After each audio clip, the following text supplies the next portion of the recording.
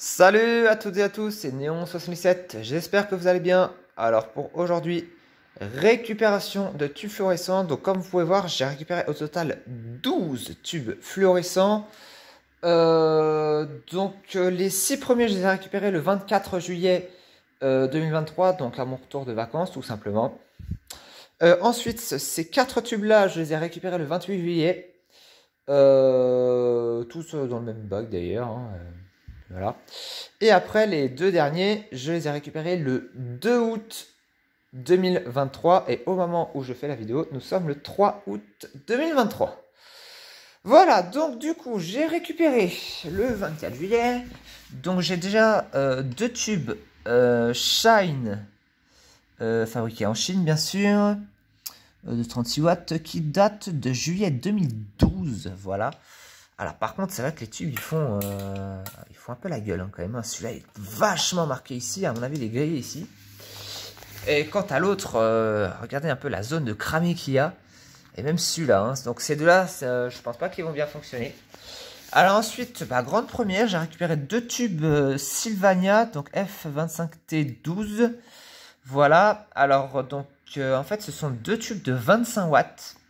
Donc qui font 76 cm. Euh, alors par contre, euh, ouais, voilà quoi. Alors ça, je sais pas combien de centimètres il y a déjà en cramé, mais pareil. Hein. C'est pas très bon, donc à mon avis, je pense que ces deux-là ne vont pas bien fonctionner non plus. Et après, donc j'ai récupéré deux tubes de 18 watts, donc un euh, Philips Master, voilà, donc qui ne semble pas pas grillé, hein, qui semble en très bon état, mais bon. Après, je suis un peu sceptique sur les électrodes, donc on va voir. Et après, un tube Zolux, voilà, Supral T8, 18 watts, voilà. Euh, qui est un peu marqué quand même de ce côté-là, quand même. Hein. C'est vrai qu'il est bien marqué ici. Donc, euh, bon, après, il n'était pas autant marqué qu'un autre que j'avais, donc bon, on verra. Ensuite, le 28 juillet, donc j'ai récupéré 4 tubes de 36 watts. Donc 3 Osram euh, Luminux avec l'arbre Cool White, voilà. 840. Euh, euh, d'ailleurs, euh, c'est pareil pour le Philips. Par contre, le Philips, regardez un peu bien bien cramé là. Hein. Et après, c'est de là hein, bien marqué ce, côté-là, mais aussi de l'autre. Alors ça, ça c'est typiquement à mon avis le genre de tube qui va encore éclairer rose ou clignoter rose, je sais pas. Enfin bref, c'est toujours la même chose de toute façon avec ces tubes-là. Alors ensuite, donc là j'ai récupéré un tube bah, il n'y a pas de marque en fait. Alors, je pense très honnêtement qu'en voyant les culots, je pense que ça va être un tube Osram, voilà. Euh, dont la gravure a été effacée. Euh, ah, si, je vois le reflet. Et eh ben voilà, on le voit, c'est que ça n'est pas très visible la gravure. Euh, donc c'est ça, c'est bien un Osram du coup. 36 watts slash 20. Euh, donc du cool white. Voilà, donc je vais me mettre dans l'autre sens pour mettre la marque du même côté. Et ensuite, euh, donc un tube... Euh, euh, quelle marque ça? Que Kerbel, Kerble, je sais pas comment ça se prononce, peu importe. alors ça c'est un tube de 15 watts du coup. quand même assez marqué ici. Alors j'ai pas plus d'infos que ça sur ce tube, donc là ça va être grande surprise. Il n'y a pas grand chose qui est écrit dessus. Bon, je vais déjà tester tous les tubes de 36 watts. Bon, bah voilà, donc les deux tubes Shine sont installés. C'est parti. 3, 2, 1.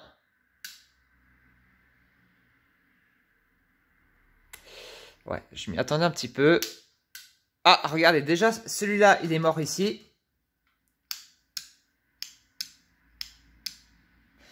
Et je pense que l'autre, ça va être de l'autre côté. Donc en fait, les deux euh, du côté où c'était grillé en fait. Voyons voir. Ouais, c'est ça. Euh, bon bah c'est l'heure de taper. Hein. Ah, on voit que ça bouge.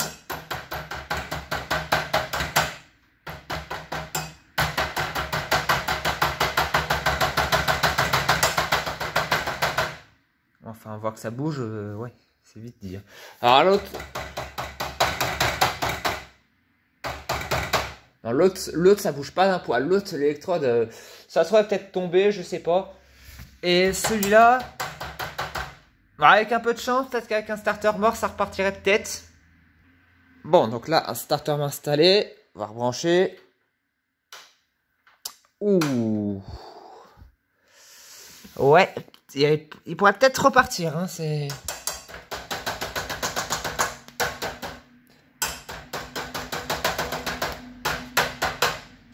Euh, ou pas. non, il a pas l'air de vouloir partir. Je pense que c'est... Ah Ah, bah si, voilà Euh, ouais, bon. À part que c'est fait de manière totalement forcée, mais à part ça, tout va bien, quoi. Euh, ouais, non, là, c'est vraiment fait de manière très, très, très forcée, là. Ça, ça va pas du tout, du tout, du tout.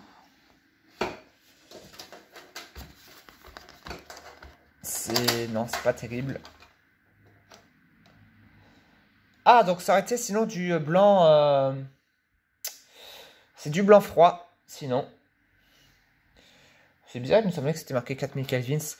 Le tube scintille beaucoup, hein, par contre. Regardez un peu. mais regardez un peu l'état du tube, quoi.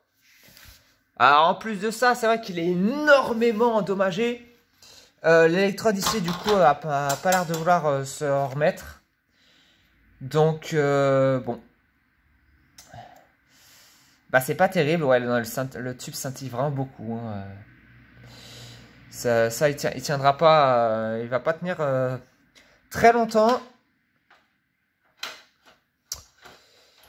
Hop, donc celui-là, bah, pour moi, je le considère qu'il est mort. Et celui-ci, donc je vais inverser, comme ça, ce sera plus simple pour moi de voir. Ça, c'est si j'y arrive. Voilà. Voilà, je vais mettre le starter mort. Toujours si j'y arrive. Voilà. Donc là, il y a le starter mort. Hein. Ah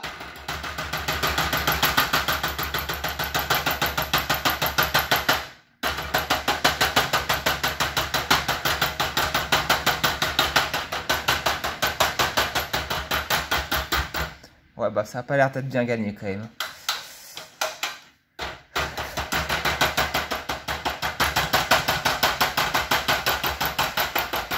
laisse tomber. J'y arriverai jamais. J'y arriverai jamais. Celui-là, par contre, il est vraiment mort de chez mort. Euh, alors, l'électrode n'est peut-être pas tombé parce qu'on voit que c'est pas si loin que ça. Ou alors peut-être qu'il manque un morceau seulement. Un, un morceau pas forcément énorme. Mais bon, dans tous les cas, dans celui-là, il n'y a rien à faire. Celui-là, j'arriverai pas à le faire repartir. Bon, allez, je teste les autres tubes de 36 watts. Bon, donc passage au tube Osram. Alors, euh, ouais, je serais pas étonné s'ils éclairaient rose. Euh, en tout cas, ils sont marqués vraiment partout, chez partout. Donc bon, voyons voir. 3, 2, 1. Génial. Génial. Non, mais ils éclairent super bien. Hein. Non, non, mais il n'y a aucun problème. Hein. Ils, ont littéralement euh, bah, pas de force. Alors celui-là, il fait un truc super bizarre de ce côté-là en plus. Je sais pas ce qu'il est en train de faire. Euh, par contre, c'est vrai que sur celui-ci... Oh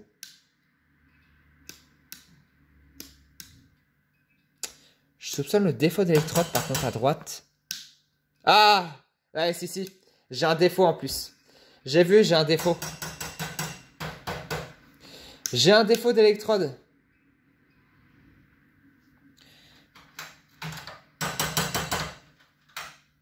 Ouais, ouais, ouais, il y a un défaut d'électrode. Je le vois clairement à l'allumage.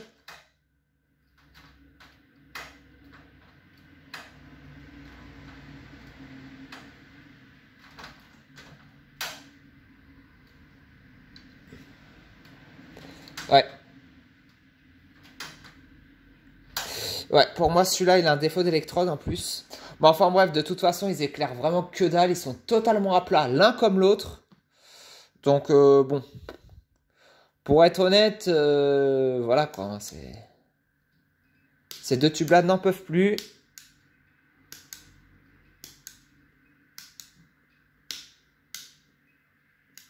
Ouais, bon. Mais ouais, non, les tubes n'en peuvent plus. Enfin bon, bon allez, je passe à la suite. Bon voilà, donc tube Osram avec l'arbre à gauche, le seul qui me restait, pas trop marqué. Et le tube Philips à droite, c'est parti, 3, 2, 1. Ah, oula Alors, le Philips... Ah si, il, il marche encore le tube Philips, hein. Mais enfin, euh, ouais, pour combien de temps? Ouais. Ouais, ouais, à mon avis, je pense qu'il en a plus pour bien longtemps. Hein. Et euh, le tube Osram, lui, a l'air de fonctionner correctement. Alors, voyons voir.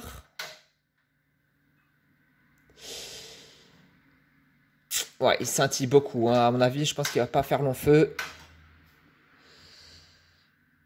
Là, il scintille euh, largement plus.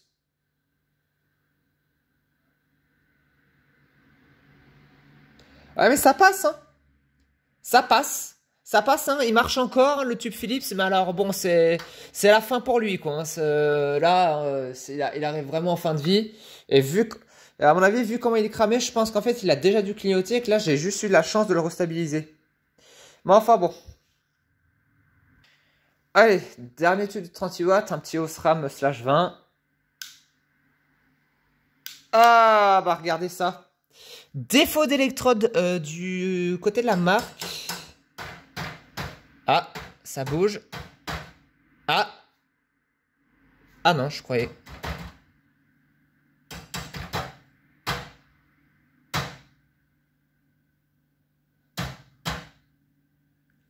Est-ce que ce serait mes deux électrodes qui merderaient Je trouve ça assez bizarre quand même. Juste être sûr que l'autre électrode ne fasse pas...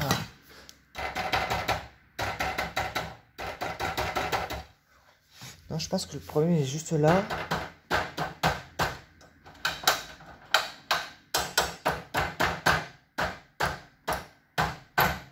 Ah Ouais, voilà, c'est ça. C'est ça, il y a clairement un défaut d'électrode en tout cas, là c'est indiscutable. Euh, bah c'est dommage. Ouais.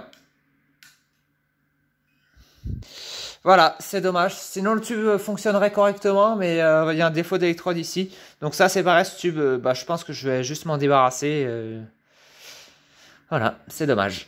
Bon allez, bah tiens, j'ai le tube de 15 watts tout seul, je vais aller le tester. Bon voilà, le tube de 15 watts est installé. C'est parti. 3, 2, 1.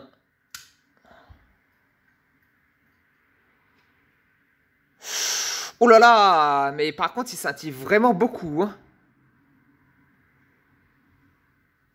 De ce côté. De ce côté, euh, d'ailleurs, l'électrode en bas, euh, oui, ça fait quand même la tête. Donc c'est un tube euh, à lumière bleue, du coup. Euh, donc il fonctionnerait encore. Mais euh, oui, le problème c'est qu'il scintille vraiment beaucoup. Donc je pense que c'est un tube qui va lâcher d'ici peu. Mais si je le mets dans l'autre sens. Ouais, c'est franchement pas mieux.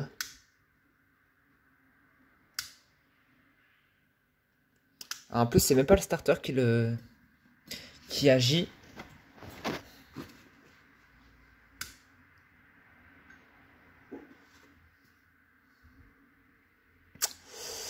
Ouais, ouais, ouais, il scintille vraiment. Ah Oh, là, il s'est bien... Là, il s'est bien stabilisé, par contre. Ok. Mais sauf qu'il continue de scintiller. Donc, ok, il marche encore, hein, mais... Euh... Pareil, hein. Plus pour, très... Plus pour très longtemps. Celui-là, par contre, je pense qu'il n'a pas encore eu le temps de griller. Mais ça va pas tarder, ça, c'est clair. Bon allez, passage au tube, euh, au tube de 25 watts, je vais installer une réglette parce que bah, j'en ai pas de 25 watts. Puis bah on va voir ça. Bon voilà, donc le premier tube de 25 watts est installé. C'est parti. 3, 2, 1. Oula Waouh Ah, j'ai carrément du swirling, dis donc. Le tube scintille énormément.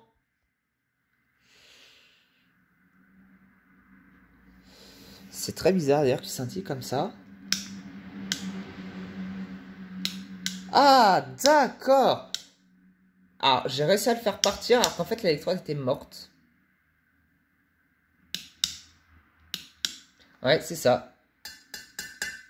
L'électrode est morte. Le starter s'allume quand même. Donc en fait, ça, je pense que... Après, c'est vrai que le ballast, il est un petit peu fort. C'est peut-être pour ça que j'ai réussi à le faire repartir. Mais euh, bon. Bah voilà, dans celui-là... Non, celui-là, il est mort. Hein. Il n'y a pas de... En fait, voilà, c'était juste un coup de chance. Le tube est mort. Et pareil, hein, c'était du blanc, euh, c'était du blanc froid du coup. Mais il est mort. Allez, je vais faire l'autre. Bon, bah voilà, donc l'autre tube est installé. Voyons voir.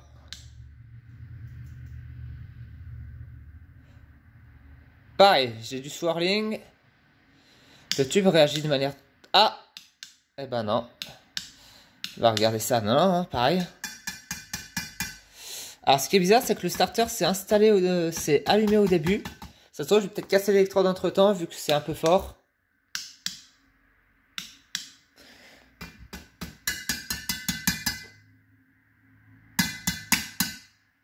Ouais, je l'ai peut-être cassé l'électrode. Bon, de toute façon, euh, toute façon, voilà. Hein, euh, le tube, pareil. Hein, de toute façon, était bien, bien cramé. Mais je pense que j'ai dû la casser entre temps. Ouais, puis ça tient pas, ça me saoule. Ouais, tout s'est défait. Bon, allez, hop. Bon, voilà. Donc, pour finir, les deux tubes de 10 watts. Donc, le premier qui a là, c'est le Philips. Le deuxième, c'est le Zolux. C'est parti. 3, 2, 1. Ouais, bah, ça a pas l'air de marcher. Hein. Ça a franchement pas l'air de marcher. Alors, voyons voir. Ah Ah, alors, donc déjà, je sais que le Philips, il a des problèmes d'électrode. De ce côté-là, c'est sûr. Et de l'autre aussi, voilà. Non mais... Non mais tout va bien. Hein. C'est toujours pareil.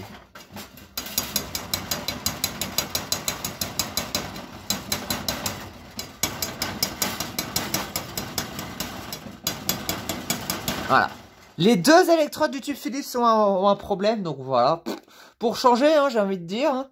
Donc bon, c'est toujours euh, bah, de la qualité, j'ai envie de dire. Euh, ok, bah, je vais mettre un tube qui fonctionne. Et on verra le tube euh, Zolux. Le tube Zolux, lui, par contre, n'a pas l'air d'avoir de problème d'électrode. Donc à voir. Bon, donc nouveau test. Donc avec un tube qui fonctionne. J'ai mis un starter mort avec. Et on va voir le tube Zolux. 3, 2, 1. Waouh, magnifique, dis donc, magnifique. Euh, eh ben, c'est un tube qui éclaire. Euh, c'est entre le rose et le violet. Voilà, c'est entre le rose et le violet. Alors de manière normale, hein, je précise. Hein, c'est pas un tube dysfonctionnel. Pas du tout. Non, non, c'est un tube euh, qui fonctionne très bien. Alors, je vais enlever le starter mort là-haut. Alors, ça peut être très pratique.